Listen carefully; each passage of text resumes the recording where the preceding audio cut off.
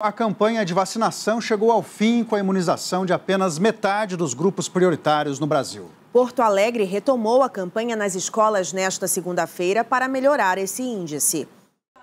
Dona Nilza atrasou um pouco, mas veio até o posto se proteger. Antes eu tinha uns gripão muito feio, mas depois que eu comecei a tomar vacina, não. E não foi só a Dona Nilza que deixou para depois.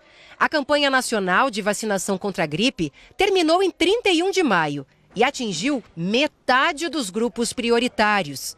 Neste início de inverno, a preocupação com os casos crescentes é maior nas regiões norte e nordeste, segundo a Fiocruz. No Amapá, a vacinação foi intensificada após o governo decretar situação de emergência por causa do surto de síndromes respiratórias agudas graves. O estado é o único que alcançou a meta de vacinar 90% do público-alvo.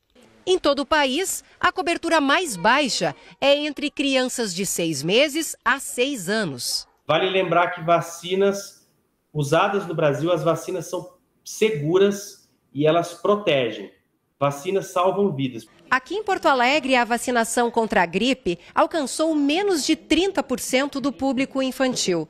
Para tentar ampliar a cobertura entre os pequenos, a Prefeitura retomou nesta segunda-feira uma campanha itinerante, com mutirões nas escolas. Facilita muito. Aí a gente não precisa ir longe de atrás da vacina.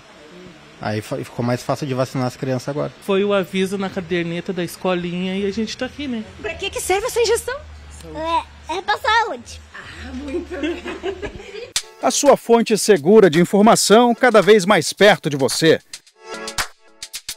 Baixe agora o aplicativo do SBT News. Selecione o que é mais importante e receba notícias personalizadas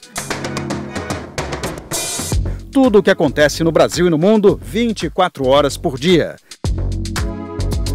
A informação em tempo real na palma da sua mão.